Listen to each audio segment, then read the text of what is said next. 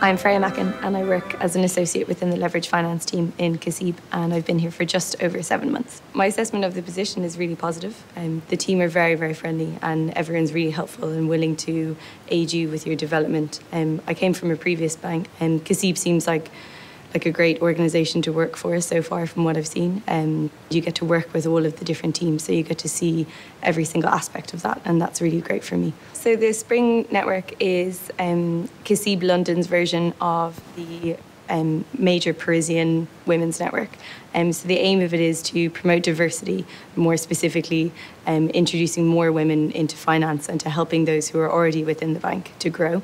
Um, it does this through a number of things. So there's monthly meetings that all of the members of the network go to, um, and then the leadership team work really hard to organise events such as networking, and they're also working to um, develop some training programs. I know there'll be an opportunity for me within the group. For me, it's just the beginning, and everything starts here.